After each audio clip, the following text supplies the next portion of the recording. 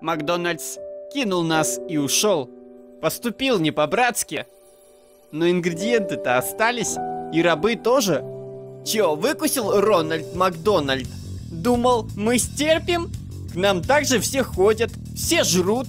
И не нужен нам ваш Макдональдс. И без вас вкусно. А если посетителям что-то не нравится, пусть валят свою Америку.